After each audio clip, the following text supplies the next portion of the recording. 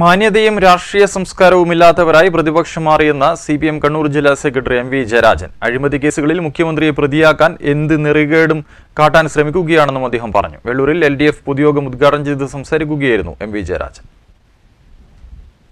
എല്ലാ പ്രതിസന്ധി ഘട്ടങ്ങളിലും ജനങ്ങൾക്ക് ഒപ്പം നിന്നവരാണ് ഇടത് സർക്കാർ. അഴിമതിയും കൊള്ളരുതായ്മയും കാട്ടി ഇടതുപക്ഷത്തിന്റെ മെക്കിട്ട് കയറാൻ ആരെയും അനുവദിക്കില്ല. ജനങ്ങൾക്കൊപ്പമാണ് ഇടതുപക്ഷം ജനങ്ങൾ ഇടതുപക്ഷത്തിന്റെ ഒപ്പമാണ്.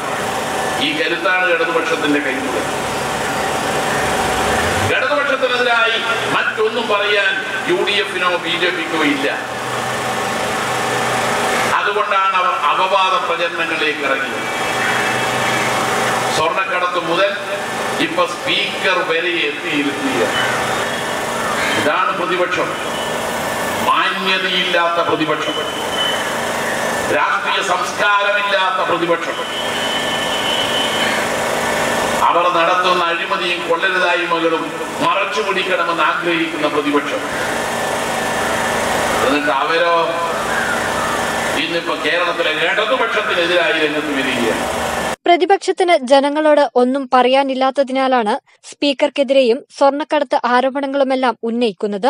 വൈരുദ്ധ്യം നിറഞ്ഞ അന്വേഷണം നടത്തി കേന്ദ്ര ഏജൻസികളെ കൂട്ടുപിടിച്ച് സർക്കാരിന്റെ വികസന പദ്ധതികളെ അട്ടിമറിക്കാനാണ് ചിലർ ശ്രമിക്കുന്നതെന്നും എം വി ജയരാജൻ പറഞ്ഞു. വെള്ളൂർ ആലിൻകീഴിൽ നടന്ന യോഗത്തിൽ C Krishnan M L A Pavoor Narayanan K T Krishnan V Kunhikrishnan K V Sudhakaran Payyanur നഗരസഭ ഒന്നാം വാർഡ് സ്ഥാനാർത്ഥി ഒ സുമതി തുടങ്ങിയവരും പങ്കെടുത്തു. News bureau Payyanur. Bye.